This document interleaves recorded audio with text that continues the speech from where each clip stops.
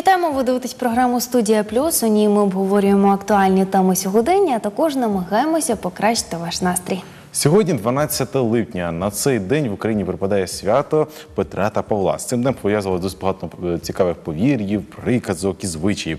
А власне на Петра вперше після посту в народі а, називають також Петрівка. Саме тоді е, дозволялося готувати молочні страви. Господині варили вареники з сиром, а також е, пекли мандрики. Це такі цікаві сирні бабки. А також говорили, що власне з цього часу переставала кувати зозуля. Начебто говорили, що вона а, затикалася цими ж таки бабками і все після цього більше не кувала. А якщо після цього дня чули зозулі, то говорили, що це предвіщує нещастя. А власне також із цією із цим повір'ям існує цікава легенда. Що, начебто, чому власне перестає кувати зозуля? Коли власне господині робили ось такі бабки, Бог побачив, як зозуля вкрала одну із таких і почала її їсти. І він сказав, що саме після цього дня ти назавжди будеш е, мовчати до наступного такого свята, адже ти вкрала ось цю таку сирну бабку. Ну і вважається, якщо після цього дня зозуля закує, буде певне нещастя. Але ж ми з вами не забубонні і в це все можемо не вірити. А святий Петро він вважається покровителем пастухів, і у нього є певний батіг. А можемо сказати про те, що іще є блакитні квіти, цикорію. В Україні його називають Петровим батогом. Ось такі проводять паралелі. До е, цього дня, тобто до цього свята, наші предки готувалися е, достатньо. Сильно вони білили хати, оздоблювали її рушниками, потім прибирали на подвір'ї. Вранці цього дня всі йшли до церкви. Дівчата прикрашали свої голови вінками із польових квітів, особливо використовували для цього мак. Потрібно сказати, що після цього а, свята люди взагалі слідкували і на це свято, і після цього за погодою, тому що тут існує досить багато повір'їв. Цікаво те, що всі вони пов'язані із врожаєм. Якщо на Петра один дощ, то буде достатньо непоганий врожай. Якщо два дощі, то хороший врожай, а три багатий. Однак, якщо цілий день ітиме дощ, то буде гнити картопля. Однак, якщо е, буде спека і е, дощу не буде, то на різдво буде дуже сильний мороз. Прикметна вір, але потрібно їх перевіряти. Ну і зараз розпочинаємо наш традиційний історичний флешбек. 1918 рік у мерії 7-го партизанського округу одружився художник Пабло Пікассо і російська балерина Ольга Хохлова. Власне, їх повінчали у російській церкві. У 2003 році, цього ж таки 12 липня, легалізували марихуану у Канаді. А взагалі існує кілька цікавих взагалі е, проблем і кілька, кілька цікавих назв. Звідки ж пішло ця назва марихуана, чому саме так її називають і так далі. Все це від е, португальського марігуана, тобто п'яніючий, або за іншою від імен Марія і Хуан, що використовувалися для назви е, сигарет із коноплі. Звідси взагалі пішла і назва марихуани. Також цікаво, що взагалі, ну власне, марихуана це не досить добра річ, хоча існує багато цікавих підтверджень з наукової точки зору, що, начебто, вона допомагає лікувати там лактофобію, різні такі е, проблеми і е, власне хвороби пов'язані із е, молочними різними е, взагалі діями в нашому організмі. Однак, все таки ми роззнаємо її як наркотик, і не потрібно власне займатися курінням її, е, ну хоча б то, ну, якщо вона не легалізована. Е, Потрібно також сказати, що вона е, також викликає такі е, тяжкі захворювання, як і від тютюнопаління, тобто це бронхіт, фарингіт, синусит і рак легень. І також виникає цілий, е, цілий ряд захворювань, пов'язаних із дихальними шляхами. Тобто, якщо власне її курити, будуть набагато тяжкіші наслідки ніж від тютюнопаління. І також я продовжую далі наш історичний флешбек. Я хотілося б сказати, хто цього дня народився. В 1935 році народився Вадим Гетьман, український політик та фінансист. З 1987 року очолив Український республіканський агробанк.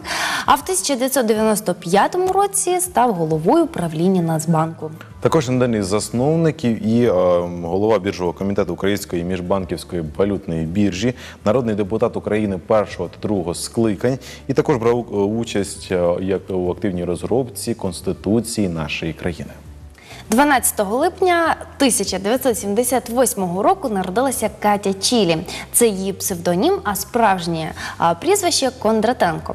А, українська співачка, композиторка за 13 років професійної кар'єри випустила 4 альбоми, що отримали значну увагу преси, а також глядачів і слухачів.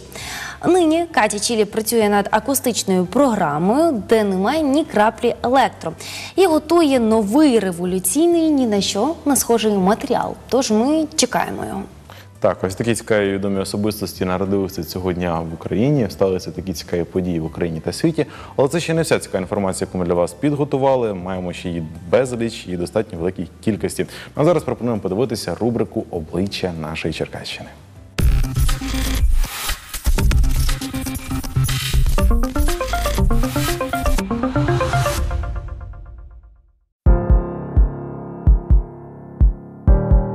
Представниця нової формації лікарів Оксана Герасимюк протягом 15 років роботи рятує життя черкащан. Жодного разу не шкодувала про свій вибір і вірить у майбутнє української медицини. За спеціальністю Оксана Герасимюк кардіолог, заартована роботою у лікарні невідкладної допомоги. Сьогодні очолює терапевтичне відділення для постраждалих від аварії на ЧАЕС першої Черкаської міської лікарні. Але на зараз, пропрацювавши майже 15 років, можу сказати, що дійсно я зробила правильний вибір, люблю свою роботу, тому кожен день майже як перший. З захопленням, з цікавістю, з радістю йду на роботу. Я вірю в людей. Я вірю в те, що е, зміни будуть. Вони на моїх очах вже відбуваються. Я не так давно працюю, але бачу, як все змінюється. Тому Ну, по-перше, треба не складати руки, по-друге, вчитись. Нам дуже багато треба поміняти в свідомості, поміняти в підходах, можливо. Е, І не здаватись.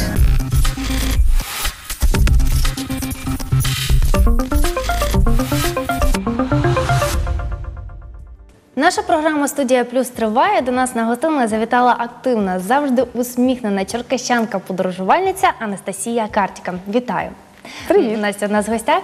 Е, Знаєте, найперше, яке запитання у мене виникає: а як давно взагалі ви побачили у собі таку рису характеру як подорожувальниця? Тому що це потрібно бути легкою на підйом і хотіти побачити абсолютно все. Мгм. Дуже цікаве питання, дякую. Взагалі, е, з трьох років я займаюся спортом, і мені здається, що цей спорт він дав оцей е, порив, е, напевно, який передався від тата, і е, якусь таку відкритість до світу. Взагалі, ще за часів е, наших шкільних років мама завжди нас з сестрою всюди е, хотіла нам більше показати Україну. Постійно ми їздили до бабусі на Західну Україну. Я львівський, ну, Львів, Львівський вокзал знала ну, як свій рідний дім. Це було так приємно, і я потім усвідомила, що е, в принципі я можу і будь-яке місто якби сприймати як Львів, як своє рідне місто. І це так, такий порив, це такий ентузіазм. Було Коли круто. вже конкретно поїхали до інших міст України? Е, В 9 класі е, запропонувала нам активна е, наша вчителька на 17-й школі екскурсію в Санкт-Петербург. Ну, уявіть, Санкт-Петербург. Це, це, коли, це перший мій раз, коли я була за кордоном і ще в культурній столиці Російської Федерації. Е, Тоді я дуже багато для себе усвідомила. Побачила нові, ну, нову культуру, взагалі була в Ермітажі, побачила перший раз на своїх очах е, картину Леонардо да Вінчі, Мікеланджело, е, Рембранта побачила вживу. Просто побачила, як живуть в інших містах люди. Бачила красу всю, дуже надихнулася. Це був 9 клас, точно не скажу, який рік. І, але взагалі автостопом, ну от про подорожі почалась, е, ну, взагалі подорожувала е, поїздами, поїздом, там, автобусами. Ну про автостоп дізналася в 2015 році, тому що я хотіла якраз е, дістатися на фестиваль один, який проходить так само в Санкт-Петербурзі. Я шукала, які є бюджетні там варіанти доїхати до Санкт-Петербурга. Дізналась про автостоп, що є такий вид пересування, бюджетний, і зразу захотіла попробувати, чи працює це. Ну, мало що пишуть в інтернеті. І спробувала, це працює. Настя, ну ти зараз поясню нашим глядачам, тим, хто ще не знає, автостоп. Це тоді, коли ти борзий чи не борзий, стоїш на дорозі, зупиняєш таку машину і прохаєш, аби тебе підвезли Так. безкоштовно. Безкоштовно, так? А як ви е, вирішились на це? Тому що я дівчина, я особисто до сих пір ніяк не можу змусити себе якось подорожувати автостопом, тому що мені реально страшно. Ну, я з вами згідна, так. Е, Тому я рекомендую всім почати в парі. Це найкращий варіант. Знайти попутчика собі. І можна вирушати. Скажіть, будь ласка, як взагалі реагують водії, коли ви їх зупиняєте, і чи взагалі вони зупиняються? Е, Чудово зупиняються. Е, Як реагують по-різному? Це залежить від людини. Е, Ну, яке питання задає водій, в такому, якби, свідом... ну, в такому світі він живе. Дуже багато часто ну, питання повторюються від, ну, від водіїв. Е, Загалом я зрозуміла після автостопу, що світ дуже відкритий. Люди дуже допомагають людям іншим. Вони хочуть, просто вони інколи навіть не живуть таким, якби ну, ти розказуєш, я вирішила поїхати. От їду зараз в у Вірменію, туди, то сюди. Ну о, на фестиваль їду у Вірменію, і вони Вірменія, да? Куди? Зачем? Що? Е, Якби ну не можу зрозуміти, що можна так все якби ну залишити і собі поїхати туди, куди ти хочеш. Автостопом, тим більше. А бувають, наприклад, такі моменти, коли вони, наприклад, вас підвозять, і потім виникає якесь запитання щодо коштів. Ну, все ж таки, ментальність українців у тому, що вони е, не буду ображати всіх, але є певний відсоток, що е, не погоджуються робити щось безкоштовно. Все рівно от десь щось хочеться підзаробити. А чи буває так, що водій каже там якусь певну суму коштів за те, що він погодився вас підвести? Е, Класне питання. Взагалі, е, зразу треба, ну, по правилам автостопу, є навіть правила автостопу, зразу згоджуєш це питання. Ми подорожуємо без грошей, або ми автостопщики, у нас нема грошей, ми. І зазвичай всі кажуть, та звичайно, які гроші, ми О. знаємо, що автостоп. Взагалі більшість людей кажуть, я в, дит- я в юності подорожував автостопом, це так круто, я вам навіть заздрю, там так згадують, розказують історії. Е, ви сказали, є певні правила. Які ще є правила автостопу? Ну, найкраще це в парі подорожувати, тому що водії найкраще е, сприймають е, пару, чоловік, жінка. Це не обов'язково ж бути з- в законному шлюбі, тому що це е, ну, як дуже комфортно для сприйняття психіки, психіки людини. Коли дві дівчини, ну, це так дуже якби ну, незрозуміло, там починаються різні питання. І коли два хлопці, це взагалі насторожуюче, тому що ну, непонятно, хто це. Хоча подорожують. Ось я була на Гайдафесті, і там е, спікер був спікер. Вони е, два хлопці. Вони е, по південній Америці подорожували Мачу Пікчу. Два хлопці. Ого. Ось так. Так, тобто, перше правило це про те, що треба подорожувати не одному, а з кимось, бажано хлопець та дівчина. Так. Друге, це обов'язково потрібно попереджати про те, що ти подорожуєш автостопом, щоб потім не виникало ніяких дискомфортних Так. запитань. Все чи є іще якесь правило? Е, І відчувати настрій людини. Тому що є різні е, водії, є, які підвозять просто ну, що, щоб ну, поговорити. Е, ось є такі, які хочуть там щось доказати, там щось там спорити. Є е, такі спокійні, які ну фактично не хочуть говорити. Це своєрідно школа життя. Угу. ти вчишся відчувати настрій людини, що їй потрібно саме в цей момент. О, це, до речі, дуже слушна така думка і зауваження про те, що а, ви, по суті, сідаєте в машину до людини, тобто вести себе так, аби їй було комфортно, аби вона не пошкодувала, що вона підхопила автостоперів. Так, так. А Настя, е, в яких містах України саме вам вдалося побувати? Я можу сказати, в яких я не була. Це Суми, Кіровоград, Чернігів. Ну, все. Все. А так, в основному в усіх були. Так. Що найбільше вражає? Краса України. Е, у нас дуже я зрозуміла, у нас в Україні є такі місця, які є прототипами всесвітньо відомих. Наприклад, ви знали, що є в Україні в Херсонській області е, солене озеро. Воно називається Лиморійське. Колір в нього е, солі розовий, рожевий, і він є прототипом Мертвого моря. Представляєте? Отак просто у нас в Україні. Так, да, в Україні, Херсонській області. Лиморійське озеро. Нічого собі. Що ще вразило? Е, так, е, ну те, що Е, Люди зазвичай добрі, але е, автостоп в Україні трошки тяжкий. Е, Порівняно з тими іншими країнами, де я була. Ну, Грузія, Вірменія, там зовсім нема проблем з автостопом. І скільки я чула від Польщі, в Польщі чудовий автостоп.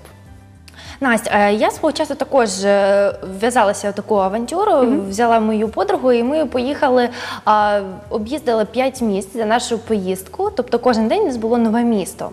А що нас особисто вражало, ми постійно були такі дівчата-порівняльниці. Ми постійно приходили і порівнювали там вокзал із нашим черкаським вокзалом, людей, домівки, потім вулиці, людей, певну якусь атмосферу, наскільки на якому рівні місто. От мені цікаво, ви побували майже чи не в усіх куточках України, так?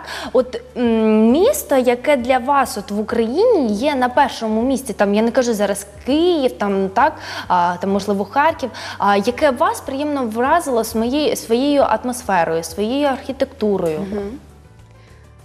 Це таке гарне питання. Взагалі, я стараюся сприймати кожне місто якось особливо, тому що е, не місто творить е, якусь атмосферу, а люди в цьому місті. І, е, і стараюсь не порівнювати, тому що ну як можна порівнювати? Порівняти, ну це якби навіть не так якось налаштовуєш себе на якийсь негатив. Ну, якщо порівнюєш. Ем, не знаю, мені здається, знаєте, якщо людині добре в будь-якому місті, в будь-якій країні їй буде добре. І в Черкасах, і десь за кордоном. Будь-де буде добре. Тобто головний настрій. Так, настрій. А ви подорожували не тільки в Україні, але й за кордоном, де встигли побувати. Грузія, Вірменія, Російська Федерація, навколо чуть-чуть навколо російської е, о, Чорного моря, Краснодарський край, такий. І е, у Польщі. Угу.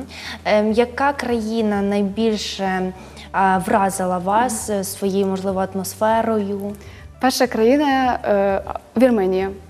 Я була вражена, тому що ті краєвиди, які я побачила, я подумала, що я десь приїхала в, е, в Європу. Десь я дивлюсь якісь альпійські луга, якісь краєвиди альпійські. Я не могла зрозуміти, де я.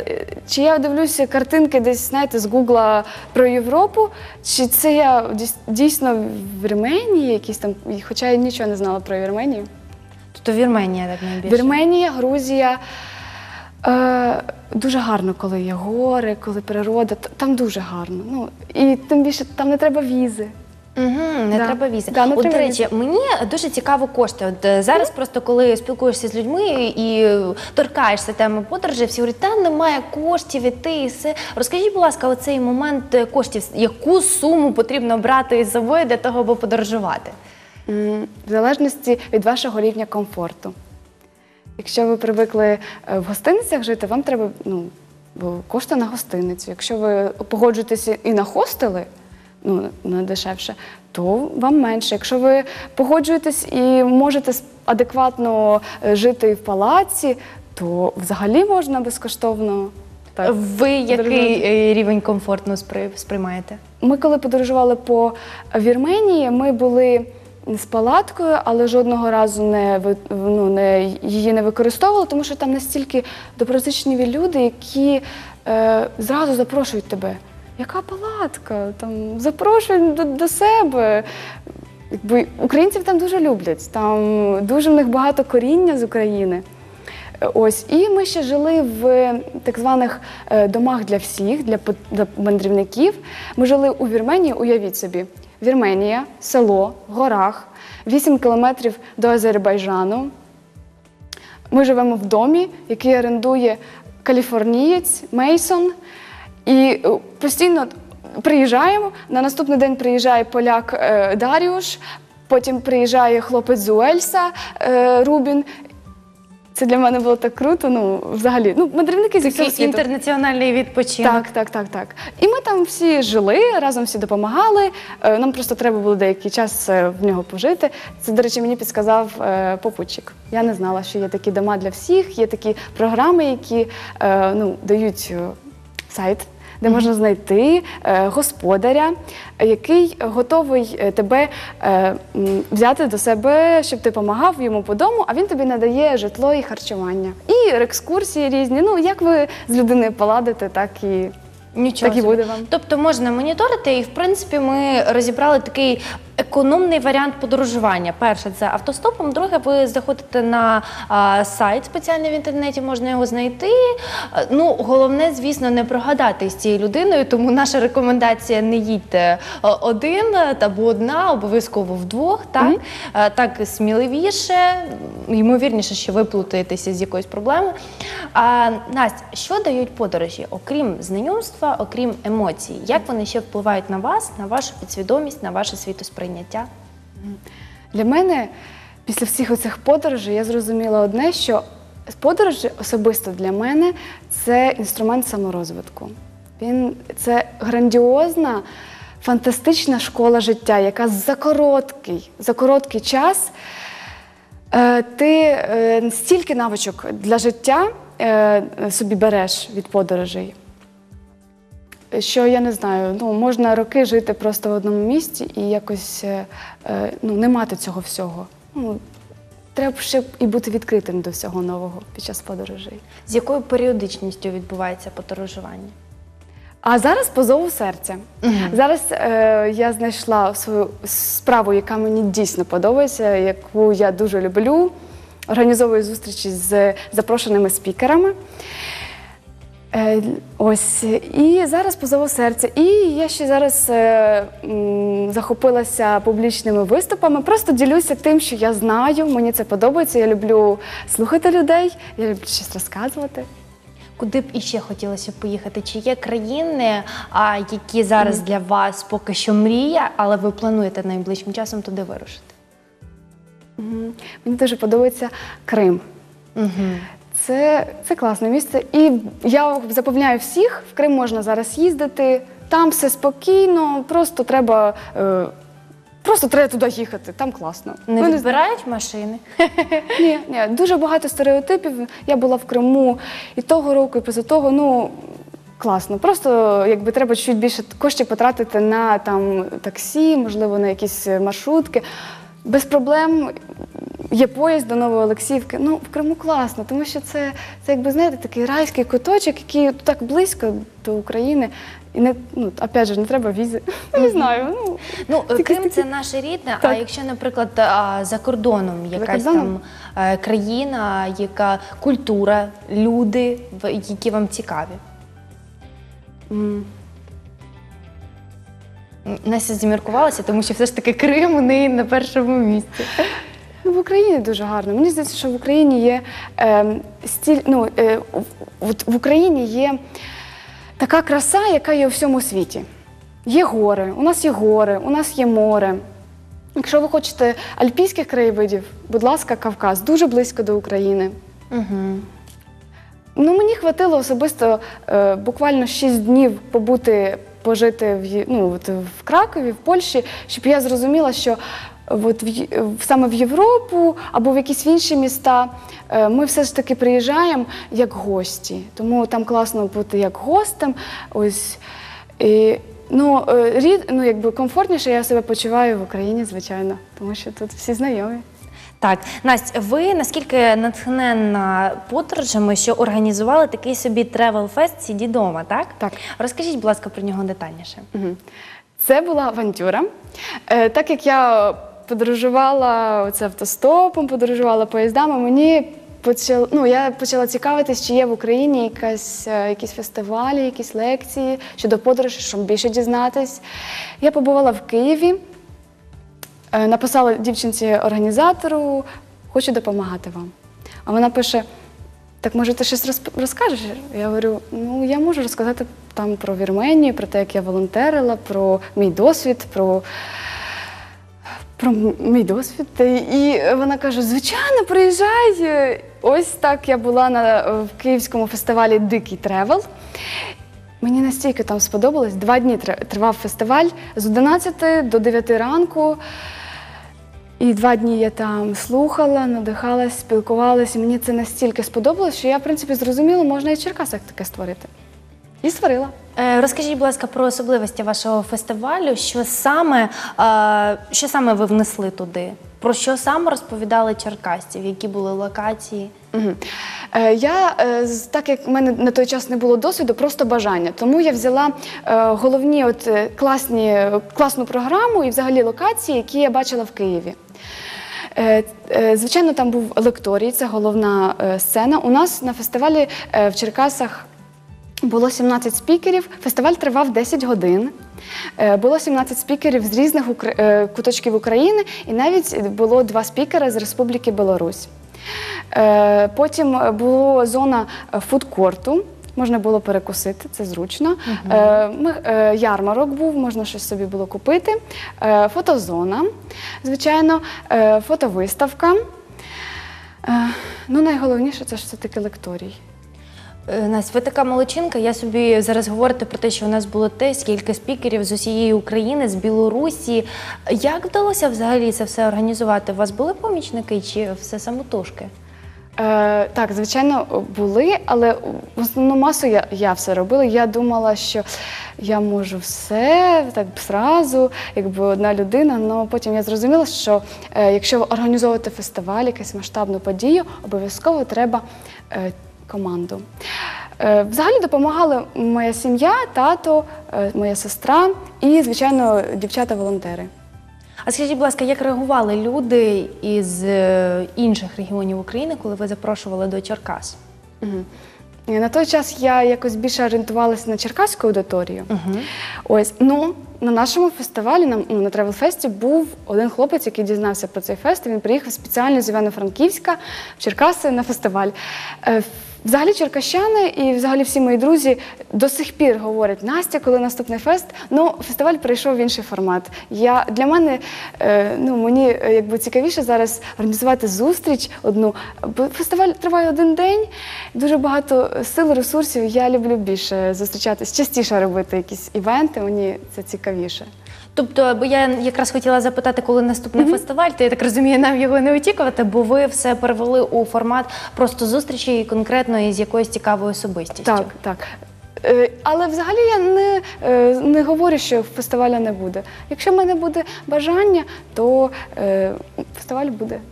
Настя, кого вже привозили до України? А, яку цікаву особистість, а, щоб черкасці могли поспілкуватися з якимось подорожувальником? Я так розумію, що це подорожувальна тема у вас саме, так? Так, почалось з того, що я перед тревел-фестивалем запросила пару. Вони ведуть свій блог Анастасія Чміль і Сашко Стульніков. Вони фріланс, він, вони пара фрі- фрілансерів подорожують там Непалом, Індією. Ну так, такі цікаві. Я слідкувала за ними в інтернеті.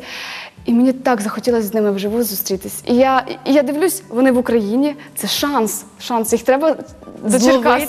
Так, так, тому що і мені насті... це був перед фестивалем, якраз в квітні. Фестиваль був у липні. Це перша е, зустріч була.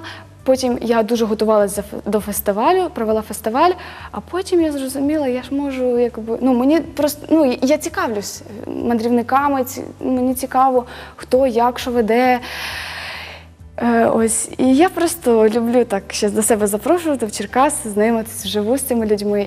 І взагалі е, в нашій черкаській публіці, друзям моїм, дуже подобаються такі зустрічі. Мені самі це подобається, і людям це подобається. Тобто Ви надихаєте Настя. А що можете взагалі сказати? От ви відслідковуєте а, за всією Україною подорожувальниками. Що можете сказати, наскільки зараз молодь активна і легка на підйом для того, аби вирушити кудись до іншої країни? Ем, активні. Е, якщо людина хоче, вона їй не потрібно багато якби, там, мотивації, просто треба за- захотіти. Ну, не знаю, ну активні. Ну, людина, якщо хоче щось змінити в своєму житті, вона це робить. Е, Ніхто вас не може ніяк заставити е, щось робити. Ви тільки можете погодитись ну, на якусь пропозицію. Або не погодитись. Щоб не погодитись, це ж треба ще мати силу волі. Ну так. А скажіть, будь ласка, ще дуже важливо під час подорожі, тому що коли я подорожувала, все ж таки спочатку може здатися про те, що це яскраво. Ну це не справді яскраво, багато краєвидів, багато емоцій. Але так чи інакше, людський організм він втомлюється елементарно від а, поїздок, тому що тут він собі комфортно лежить і спочиває а, на ліжечку. А далі вже ти подорожуєш там чи то автобусом, чи то якоюсь машиною, чи потягом. І достатньо складно все ж таки організму. Ти стаєш, можливо, трошки в'ялий, можливо, трошки сонний. Як у вас це відбувається? Наскільки енергія, ресурси вашого організму дозволяють вам бути такою оптимісткою, такою веселою протягом усієї подорожі? Ну, звичайно, під час подорожі треба не забувати про себе, звичайно, прислухатися до свого організму. Це я, звичайно, зрозуміла після того, як почала подорожувати. Тому що е, в подорожах таке саме життя, як і е, ну, е, в, ну, дома. Просто там якось більше емоцій, і ти можеш. Якби так в емоційному дуже стані, ну потім емоції постійно ну, приходять. е, Ось, е, і ти розумієш, що в подорожах буває рутина. Е, Ось, звичайно, треба прислухатись до організму. Якщо ти хочеш відпочити чуть-чуть, то ти від, ну, якби собі десь залягаєш в тихе містечко і просто день перепочиваєш. Там. Просто змінюєш, скажімо так, Так. активний відпочинок на Так, трошечки пасивний для того, аби відновити сили. А ви сказали, що потрібно прислухатися до свого організму, але як на мене, варто іще вміти вживатися з іншими людьми. Бо мені здається, та людина, котра постійно там на, на перше місце видвигає себе, своє я, їй складно орієнтуватися і спілкуватися з іншими людьми під час подорожей. А, от порадьте, будь ласка, як все ж таки потрібно м, добирати собі компаньйона для того, аби вам було комфортно, для того, аби подорож не перетворилася у ту причину конфлікту чи якоїсь сварки. Ем, Щоб бути класним е, мандрівником, ну, от класною людиною, о, е, щоб знайти класного попутчика, ну як travelmate а, е, адекватного. Щоб знайти адекватну людину, треба перше бути самому адекватним. Я вважаю, що з будь-якою людиною можна поладити. Е, Звичайно, це ж е, ще від тебе залежить, наскільки ти можеш сприймати людину такою, якою вона є. Не критикувати людину, просто це така людина, просто в неї зараз такий настрій, просто він так реагує на цю ситуацію, просто зрозуміти людину. І е, подорожі мене навчили співчуття до інших людей. Тобто, як ви відчуваєте свій організм, так само можна відчувати і інших людей. Настя, я дякую вам за те, що ви завітали до нас на гостини, за те, що скільки цікавого розповіли, за те, що надихнули нас на подорожі. Я сподіваюся, що зараз наші телеглядачі а, думають, що подорожі це не просто якась там мрія, що час від часу все ж таки потрібно влаштовувати собі відпустки і подорожувати, навіть не маючи а, достатньо величезної суми коштів. Дякуємо вам за це. Спасибі за розмову.